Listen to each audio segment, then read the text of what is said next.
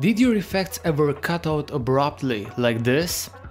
In this tutorial we will discuss how to fix this and much more on the speed of effects coming right up.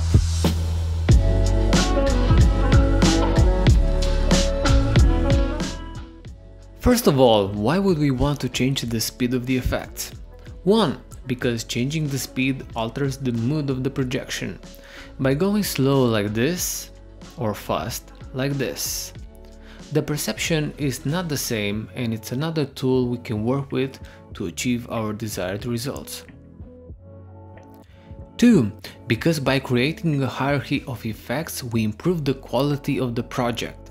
Like here, the background has the fast speed effect, in contrast to the very slow neon effect applied on the light head. If you want to learn more about how and why this works, I talked about this principle in another tutorial. Click on the top right corner or down below. Enough theory, let's get down to business.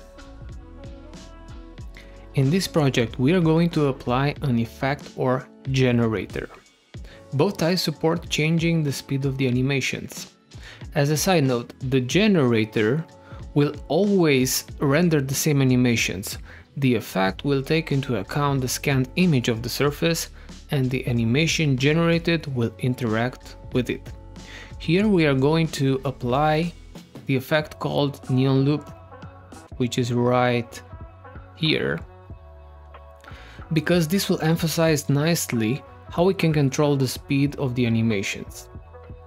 There is one more step that I want to make, and that is to make the effect to appear behind the lion head. In order to do that, we will apply a solid color of black to the surface matching the lion's head. If you want to understand more about this, check out my tutorial linked in the top right corner and down it in description.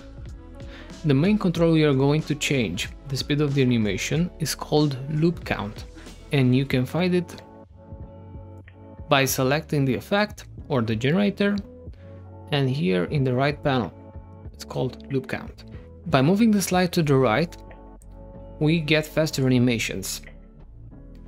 By moving it to the left we slow them down. Now at the start of the video, I promised to show you how you can fix the effects that end abruptly, like what you're seeing right now. And to do that, we must understand why this is happening in the first place. This control is called loop count because it controls how many times the animation of the effect or generator takes place in the current slide. So a one-time loop in a 5 second slide means the animation will take place in 5 seconds.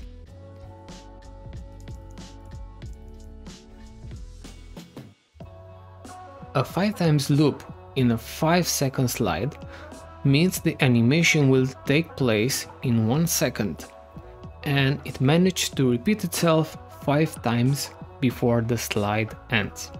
So applying this knowledge to this situation means that the neon effect will take place two and a half times during the slide's length of 5 seconds. And that means that when the slide will end and move to the next one or repeat itself, the effect will be halfway. And that is the reason we see the animation jumping like that. So to fix it, we must always select a round number for loop count. For example, 3.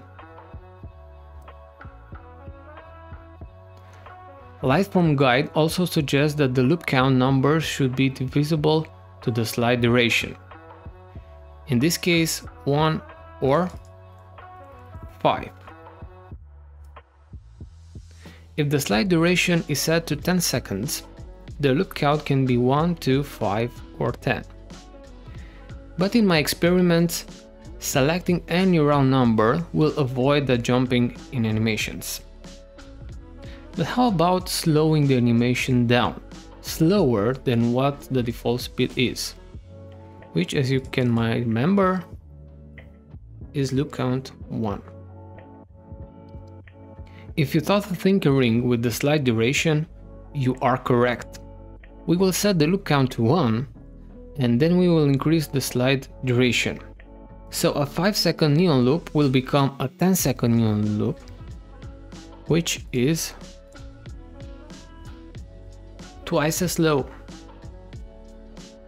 That's it for this tutorial. If you found it useful, give it a thumbs up so more people will see it. Also, tell me in the comment section what other Lightform tutorials will you want to see next. And if you want to support me and learn more, subscribe to my channel. Until next time, see ya!